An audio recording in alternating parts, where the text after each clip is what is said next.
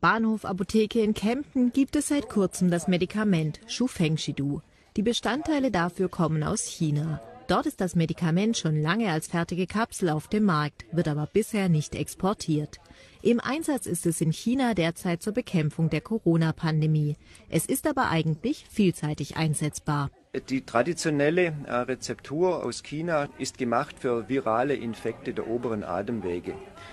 Es spielt dann eigentlich keine Rolle im Ursprung, ähm, welche Art von Virus das ist. Das heißt, egal ob das jetzt ein viraler oder ein grippaler Infekt ist, ob das eine später eine Influenza dann tatsächlich gibt oder ob das Covid-19 gibt, das ist am Anfang dieser Behandlung eigentlich äh, nicht so wichtig. Wenn die fertige Kapsel nicht hierher darf, dann müssen wir es eben selbst herstellen, dachte sich China- und Analytikexperte Hans Rausch und brachte die einzelnen acht Bestandteile des Arzneimittels mit nach Deutschland.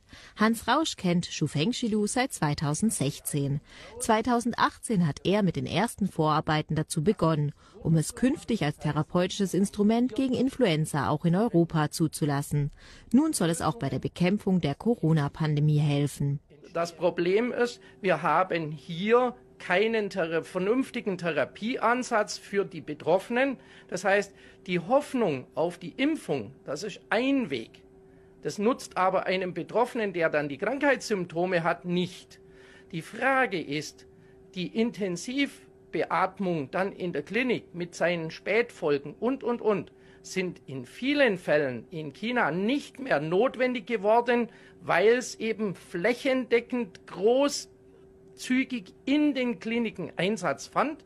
Und warum soll man nicht von jemandem lernen, der etwas kann, was wir noch nicht beherrschen?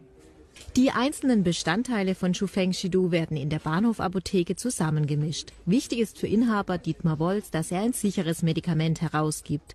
Deswegen wird alles, was aus China kommt, erst einmal genau überprüft, bevor es gemischt wird. Die Qualitätssicherung war für Dietmar Wolz auch die Voraussetzung, es überhaupt bei sich herzustellen. Also die Reise begann, ähm, als mich die Firma